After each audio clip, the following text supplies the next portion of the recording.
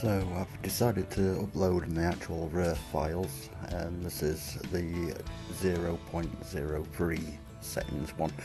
I've uh, taken to writing the actual times on, on the actual models just so you can see the exposure time across them. Of course the link to all the different layer height models is in the description below but um, basically load the actual RERF.pwmx file to the root of your USB drive and then if you actually just print it from there then you'll get the actual test where the model will print. It is vital that you clean the back build plate and filter your resin again after doing so to make sure you don't get punctured vat.